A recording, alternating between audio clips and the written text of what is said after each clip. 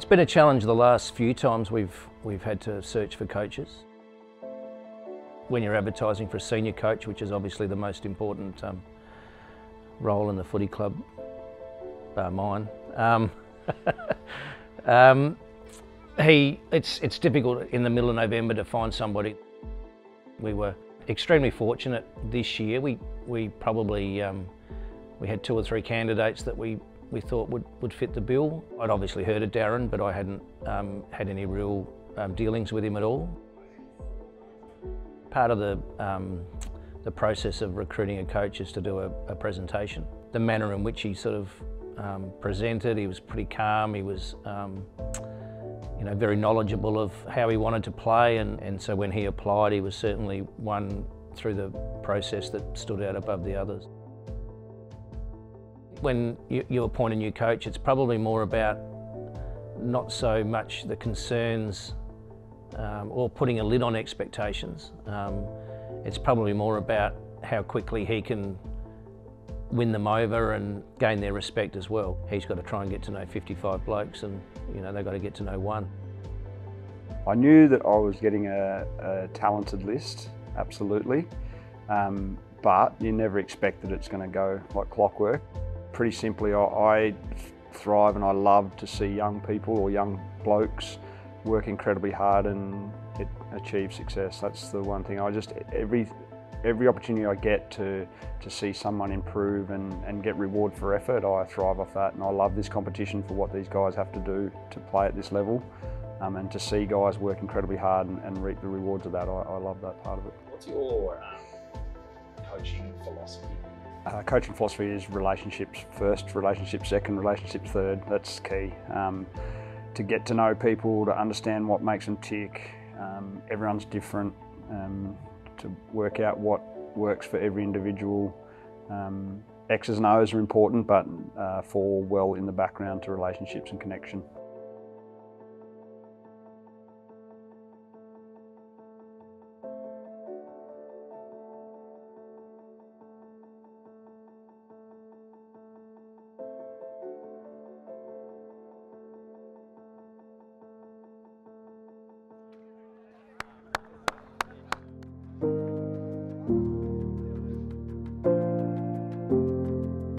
Freezing. Got the beanie on as well. You got the jacket, the ski jacket. Yeah, like.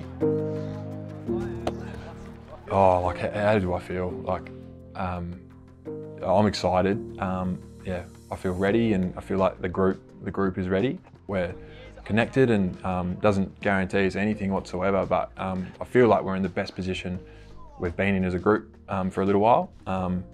Yeah, again, that guarantees you nothing, but it gives us a good chance. Nice, Anders. Nice, Max. Get those ears warm, mate. That feeling in the stomach sort of been sitting there during the week, and um, yeah, you can either sort of try and tuck it away or just, I suppose, embrace it. And we've spoke about that, like em embrace those feelings and embrace embrace what comes with with playing finals. How do we unpack Adelaide? Um, we've played against them a couple of times this year. We've watched them numerous times.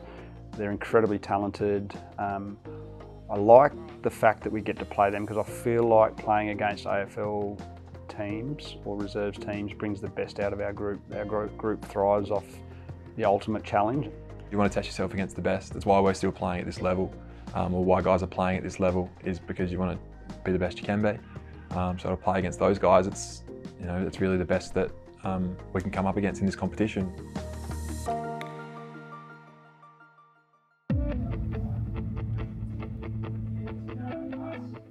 Meeting on a main session night is always the opposition review, so we'll look at some vision of the opposition and we'll talk through the key areas for us. Parnell, he's going to be looking to do that all day long. Got to be whoever's there on him, whoever he's on, you've got to be engaged and not letting him get those handball receives. He can be really dangerous. Hamill equally, they'll give him the ball every single time. Right. Got to be on, big or small, got to get him done. Just a little one on ball in ruck, so he did an admirable job. But he gets lost a little bit in transition. Opportunity cam, Dowie, whoever's in there, put the work in, but this is his default. As soon as he can't impact, he's getting behind the footy. What does that create for us? Yeah, absolutely.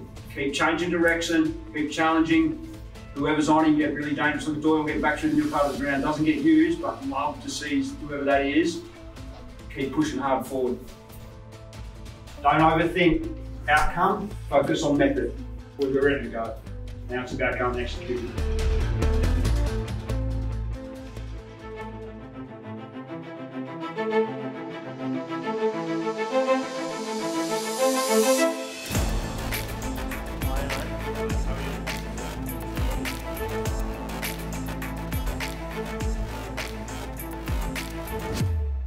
I suppose I am pretty methodical with what I do. I like to um, almost get in early, get my stuff done that I need to get done, like your strapping, necessary stretching. Matty Allen, um, from a football perspective, he's just a, an incredible athlete, six foot three, has incredible running power and endurance, elite ball using ability. I actually don't believe we've seen the best of him yet, and I don't believe he believes how good he is just yet. So my challenge as a coach is to keep reinforcing that and keep um, challenging him to be better in his own mind, because when he gets that right, he's almost unstoppable. I'd still get nerves um, occasionally, different games, especially finals, like it ramps up. Just try and build, I suppose, what we call, what I call like the barrier of confidence each week. So you can go out there, have confidence in, in what you've done, have confidence that you're prepared um, and that you're ready to go. Go JB. Pressure on the receiver. Spoken about this a lot those last couple of weeks, stopping the forward ball. The first ball, almost a free hit. If you can't get it done, don't overthink it. Worry about making sure we stop the second ball. That then translates into exploding into offense for us. Kicking team. Win the footy, challenge open side, change direction, 50 to 70 ball equals deep entries for us. There's our method in a nutshell. That's what's worked all year for us. That's what works from now forward for us.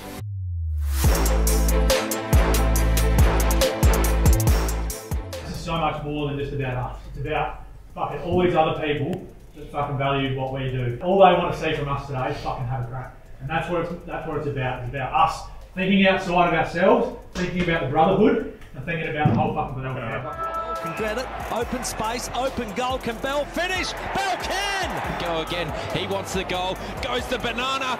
Bounces it through! Back to back goals for the base. Just get, just get Mal first for a minute. Just get Mal so I can chat. Max, what you got, Max? How'd they get two then? That was a fucking kick in. Yeah, mate. Are you seeing this as a midfield group yourself engaged for longer? We're, let, we're letting them go too early and it's hurting us, alright? So just want you to be more aggressive in your body work. And everything we do will be more aggressive. We get, Well, we you've get, gotta we get come to the inside. ball, Fucking we're go to a testing tackle, we're missing tackles. So everything we do as a group got to be fucking aggressive, right? Let's. Dangerous position. Bell's there. O'Loughlin got the hand in there in the important time. Hosie at the front of the pack. And he kicks it. He's fired up. He's got his second. Kick from Matty Allen. We know he's got it in his repertoire. Pumps it. Long. Wow. Oh, wow. Got enough?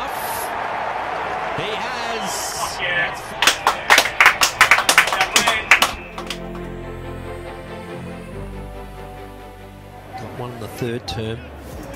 It was a long goal too. Let's see if his accuracy's online. Oh, that's a special goal to finish today's play for Matty Allen.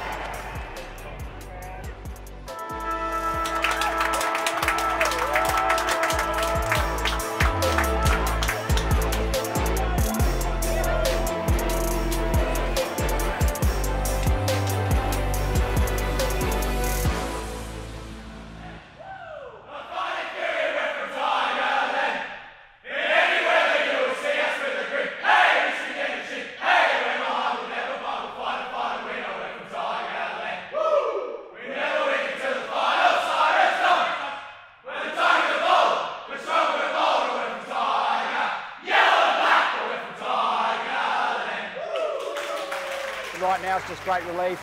Um, and my mind's already starting to tick around. What do we need to do now? What do we need to do to be better? So that's that's probably where I'm at. The players, we give a 12-hour rule where they can just think think about it tomorrow morning when they get up. I'm supposed to have the same rule. very, very difficult for me. I'll be thinking about it all night tonight. And um, obviously our twos won yesterday and some guys went really well in that too. So um, no, I'll, I'll, get out of here tonight and I'll probably even watch the game back tonight to be honest. That's how much I'm thinking about it. So won't be too much rest for me, mate.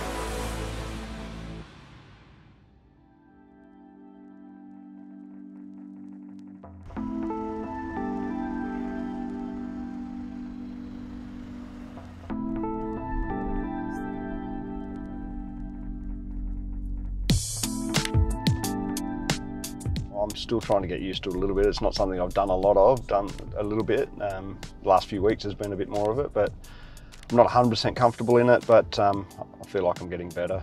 Um, they're pretty stock standard questions, so um, you can sort of manoeuvre your way through them pretty well, I reckon.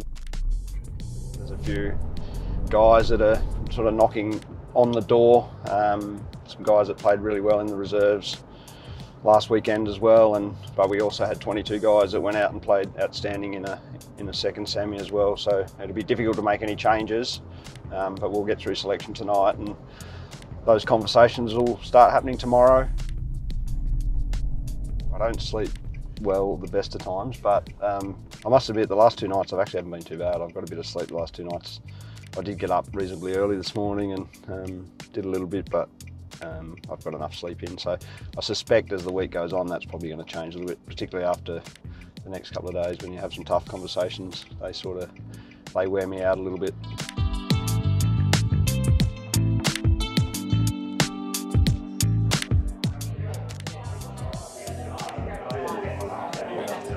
What's your uh, moment on touching your cup before? Hey? What's your thoughts on touching the cup before then? Uh, just looking away from it. I just admire it with my eyes. Obviously, still play every week. You guys play just once um, so far in the final. How will that impact this game? You're involved in a similar situation with Morvallo last year. Um, you like to think it doesn't, but yeah, that's probably something we need to address during the week. But our guys are prepared as well as they possibly could. Um, our session last Thursday was was strong. Saturday was strong again. So we've done everything we possibly can without playing. Um, so we think we're ready to go. Being fourth, fifth year as captain, um, you sort of learn what works and, and, what doesn't. When I first started, I tried to take too much responsibility, tried to do too much. Didn't work for me. Um, and then I realised, you know, being a captain, you, you, you're put in that position for a reason. I like the nerves. I do like it. Um, I think when you have played a, a, fair bit, you sort of you probably lose that at times, especially during the year. Um, but for, for bigger games and finals, especially, you get those those nerves, which I really like. And I know that um, when you have ner nerves, it means you care about the result and care about the performance. So that's what I say to other guys. If I always like asking, you know, other players or younger players how they're feeling. If they say they're nervous, then that's good. That's good for me to hear um, because it shows that they care.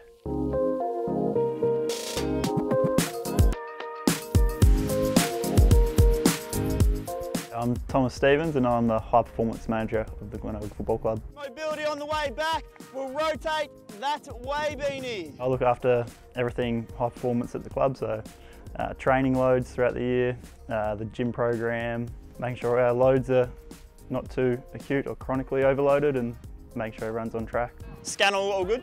Oh, Scannell's going to do this, yeah, yeah.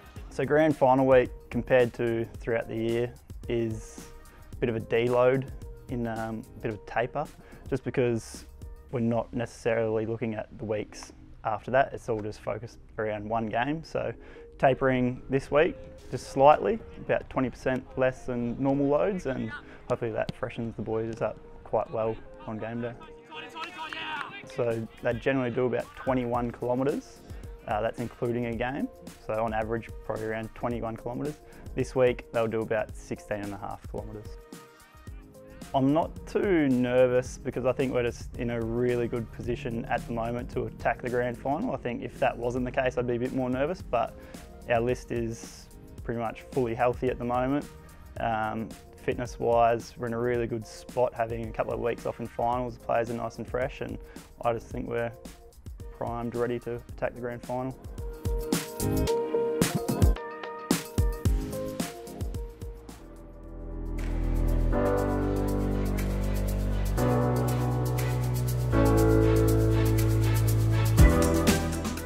Think the expectation, to be honest, comes from your supporters and the outside world. I mean, you, there is your internal expectations, and as I said, we believe we've had a group that has been good enough to, to win premierships. Uh, we certainly don't take for granted what it takes to get there, and I suppose you want to capitalise on the most success you can have when you've got a group that you know can, can take you there.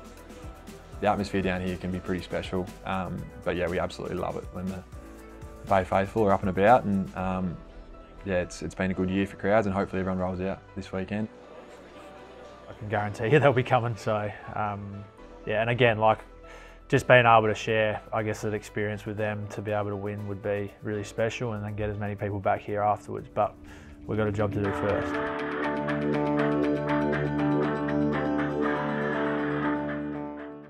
There's been some tough conversations had already with guys that aren't playing at all.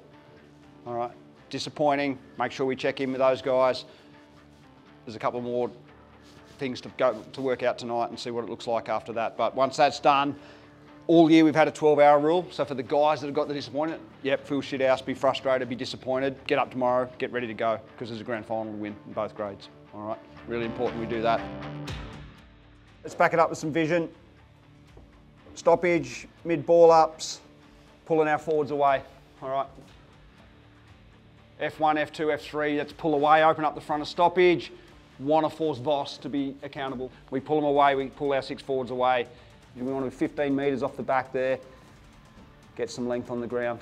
I'm backing us to get it done here. We're the number one contested team in the competition. I'm fucking sick of hearing about how good they've been through the finals contest. We're the number one contest team in the competition. Let's get it done there, get it going our way. All right. Everyone clear? Pretty stock standard, but that's us. All right. Boys, we started the year and we had an opportunity to write our own story. We get to the end point, we get to write the last page here. Let's finish how we want to finish, all right? Let's get about it. Let's go.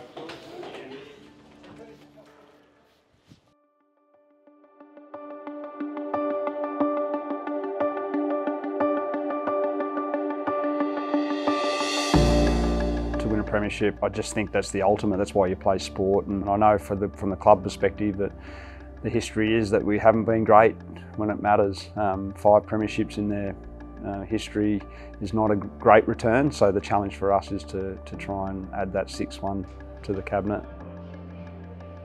As a player, it's the pinnacle. Um, but I think when you become so entrenched in a footy club, you realise how much it means to other people as well. Um, not only the people within the four walls, but outside of it, the people that support Glenelg. Um, and yeah, they're bloody hard to win. Oh, look, it had been a great deal, but it would probably, for me, it's the players and, you know, watching the players be able to celebrate and, and become part of history. Um, you know, they're the ones that put in all the hard yards and, you know, hold full-time jobs and come to training sort of four times a week and, um, you know, are really committed to the club and the program. Yeah, I, yeah, I suppose looking back at pre-season, you do some tough sessions and um, yeah, that's what it's all for, to, to get to this point of the year. So it's a pretty special, lucky position to be in with both grades. Um, so we're excited to, to crack in.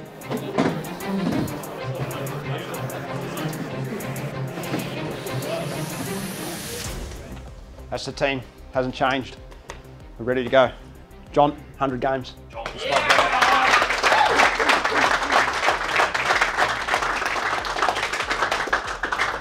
We know about this bloke and what he means, and I know we don't need any extra motivation in what today is, but I reckon that gives us a little bit more motivation. Press and chase, get at him, get at him, chase from behind, put pressure on, be big on the mark when you need to be. That snap is key. Defense wins us the game today because everything else we do flows on the back of it. It'll give us ball in hand opportunities. It'll give us one on one forward of the ball looks. Get this done for 120 minutes today. The rest takes care of itself. All right, that's us. We get one thing right today, that's us.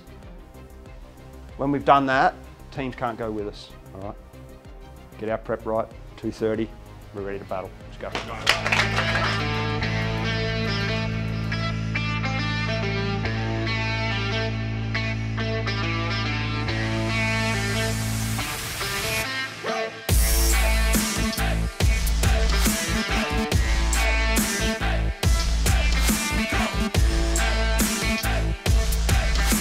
We want to have like a real connection with the Guernsey and we want to make it a special occasion every time you pull it on. So that's why we've created I guess that moment before a game where you sort of have an experience with the rest of the players pulling on the Guernsey. What just for now, but for the rest of your lives. Yeah. And connected for the rest of your lives. Fuck mate, that's going to be better.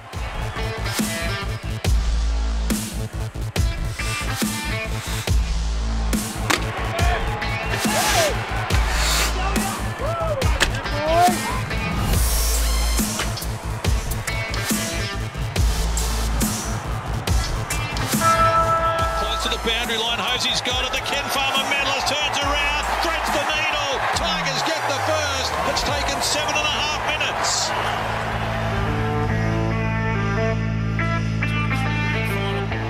Heads out. Partington to Hosie.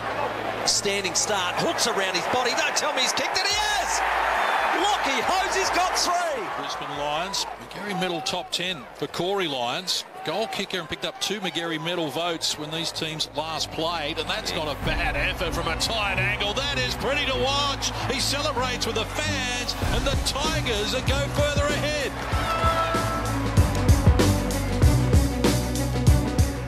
We break the game apart right here. This is the game right here. We take any energy they've got, absorb it, we put it on the scoreboard the other way, we break it, we don't stop those. Right, we keep going, we keep doing the simple things really, really well. It's a simple game football. It's not overcomplicated. It's just footy going forward by foot, let's win the race to the next ball forward, play front spot, close and lock off defensively, play forward half football.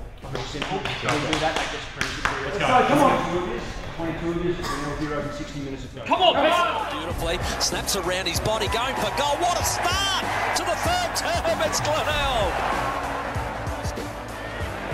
He's enjoying it. Well, the ball trickles over the back here. Did anyone get a touch on it? I don't think they did. Luke Reynolds has kicked a very important goal for the Tigers.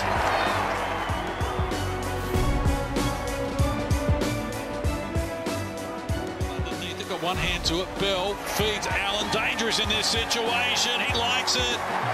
Glenelg got 13. They're looking good.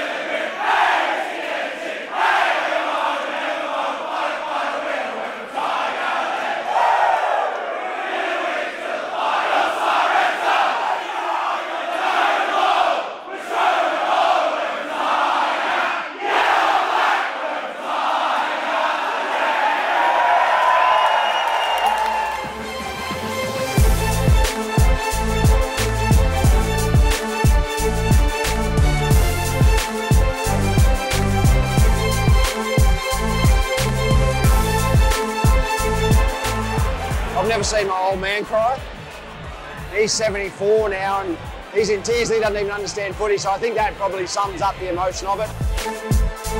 It feels great because you know that you've had an input, but you know to see all the supporters and the families and the um, volunteers, the people that give up so much of their time to support the players. Um, it's just it's magnificent.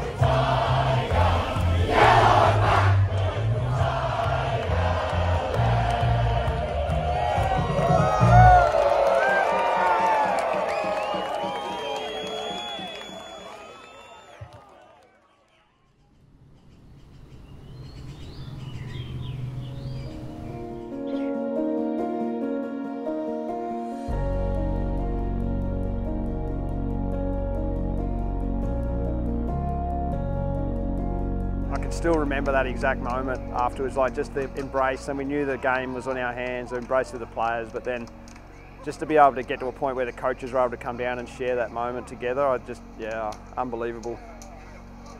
Just, man, you just think back about the work we've done, the conversations we've had, and the time and effort that like, these guys put in, just unbelievable. And I think that, that moment is just, I must admit, I, I, I, did start to break down into tears at that exact moment and gathered myself pretty quickly, but oh yeah, just phenomenal. And then just to see Premiers 2023 written there already, like just unbelievable. Did I think it was possible? I, I thought it was possible because of the talent that was here. Did I think that we were going to achieve it? Probably not. Like I hoped and I wanted to put things in place, but deep down there's that self-doubt that am I good enough? Uh, is it is it the right fit? Um, do we have enough time?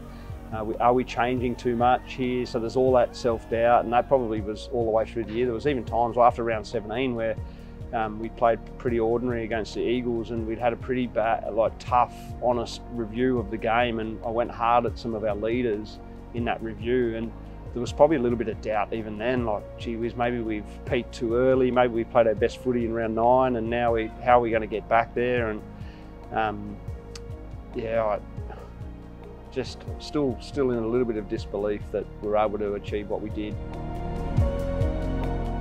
I'd already started thinking about next year, halfway through this year to be honest. Is if you're not looking to improve, well, you you might as well give it away. And our team will evolve. There'll be a few changes like it like every year, and that's exciting. We've got so much talent coming through, but as always, other clubs will look at what the premiers did and try and take bits of their game. So we'll look to keep improving our game.